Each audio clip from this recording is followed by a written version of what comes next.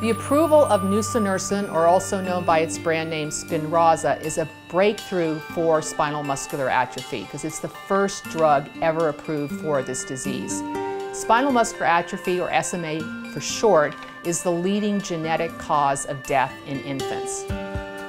Traditional drugs treat the symptoms of a disease, but Spinraza is unique because it treats the underlying genetic defect which makes it particularly effective.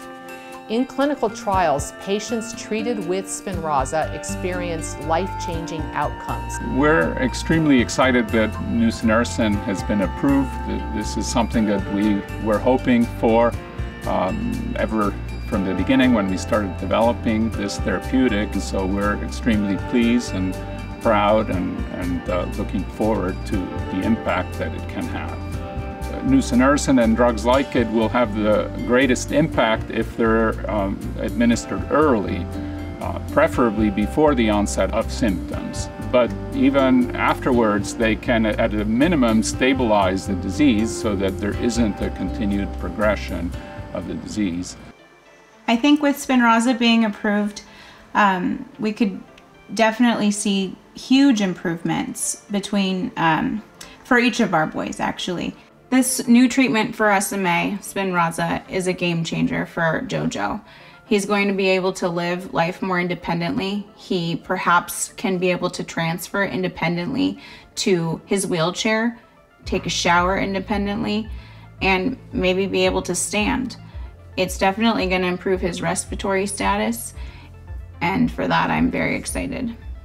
A treatment like Spinraza could be extremely beneficial for someone like Dominic in that he would be able to go through his entire school day without fatiguing uh, or during PT uh, not experiencing um, tiredness so quickly and easily.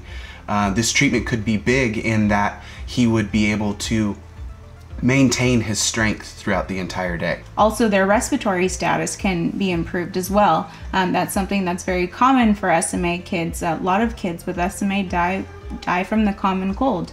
So to know that their respiratory status is going to be improved and that they no longer will um, not be able to get rid of things that are in their lungs is huge.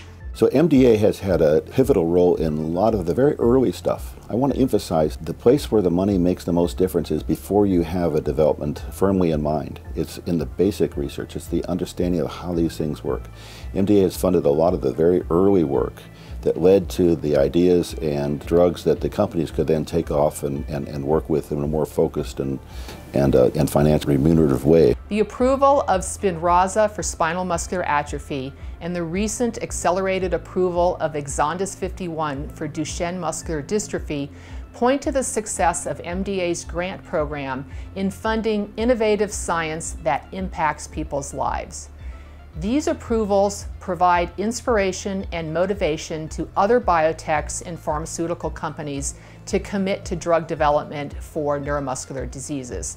This can only lead to treatments and cures for all the other diseases under MDA's umbrella.